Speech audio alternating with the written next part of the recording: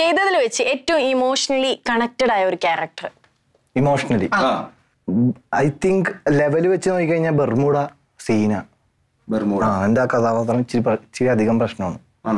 അതായത് പടം പ്രശ്നമൊന്നുമല്ല കേട്ടോ പടം ഭയങ്കര എന്റർടൈനർ ആണ് ക്യാരക്ടർ ക്യാരക്ടർ അപ്പൊ ഇതെല്ലാരും കാണണം. കാണണം അല്ല ഉറപ്പായിട്ടും കാണേണ്ട ഒരു സിനിമ തന്നെയാണ്. ഒരുപാട് ഇന്റർവ്യൂസ് കൊടുക്കുമല്ലോ നമ്മൾ.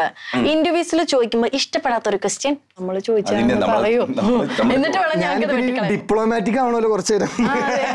ഇല്ല ഇപ്പോഴില്ല. ഇല്ല, ഞാൻ ഞാനത് ഞാനത് ചോദിച്ചത് ഞാൻ ആലോചിക്കാം ചോദിച്ചാ കേക്കട്ടെ?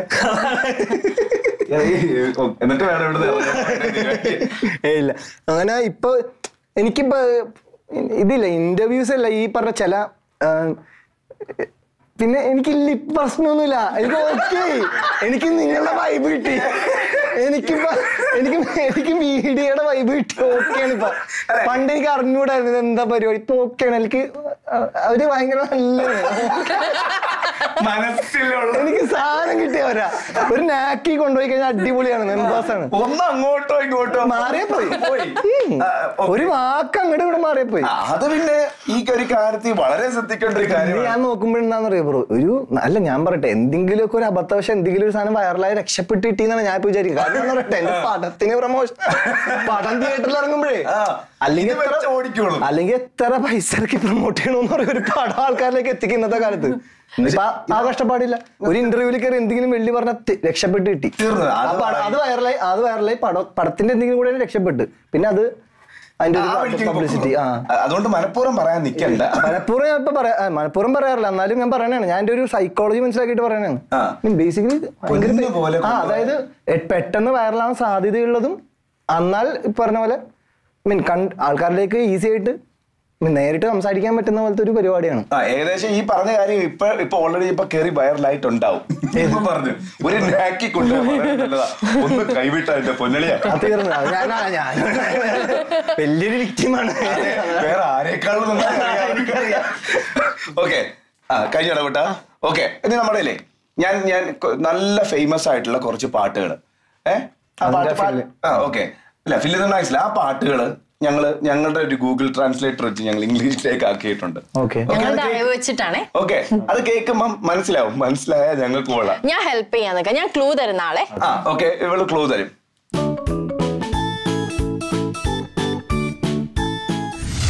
ഞാൻ എന്റെ ഇംഗ്ലീഷ് ആണ് hey girl what's in the edge of your eyes ഒന്ന് second what is in the edge of your eyes അല്ലേ? എന്റെ കണ്ണിന്റെ ഹേ ഗേൾ ഉണ്ട് ഫസ്റ്റ് Hey girl. ഏ പെണ്ണെ. What's in the edge of your eyes what are you searching for നീ എന്താണ് തേടുന്നത് നീ എന്താണ് തേടുന്നത്? Why do the heart sing on it's on പിന്നെ പുതിയ പാട്ടാ. അത് വെച്ച് പിടിക്കുക ആദ്യത്തെ. Hey girl what's in the edge of your eyes ഏ പെണ്ണെ. ഈ പെണ്ണെ അങ്ങനെയല്ല അല്ലേ? ഇത് വായിച്ചോളാം ഇത് വായിച്ചോളാം ആട്ടി ഉണെന്ന് അല്ല. പെണ്ണെ കറക്റ്റാ പെണ്ണെ.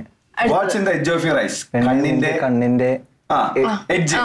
എഡ്ജ് എന്ന് പറയുമ്പോൾ കോർണർ ആകാം മൂലയാകാം തുമ്പാകാം. കണ്ണിന്റെ നടുക്കാകാം ആ നടുക്കാകാം അറ്റത്താകാം.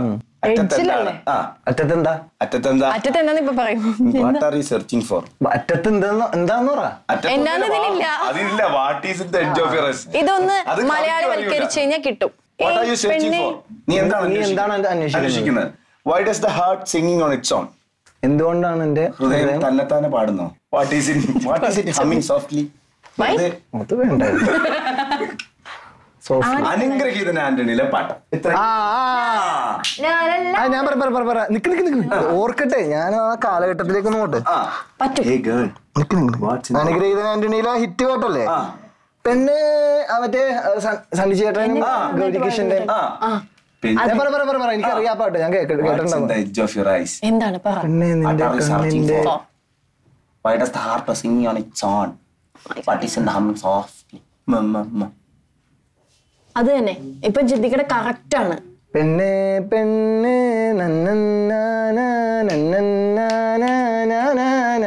അതല്ലേ ആ പാട്ടല്ലേ. പറയല്ലേ ഞാൻ എന്ന രണ്ടാമത്തെ ലൈൻ ഞാൻ പാടിത്തരാം. ഞാൻ ഞാൻ സഹായിക്കും. ഞാനില്ലേ ഇവിടെ? പിന്നെ എന്തിനു ഉള്ളം താനെ പാടുന്നെന്തേ? മെല്ലെ മെല്ലെ മൂളുന്നെന്തേ?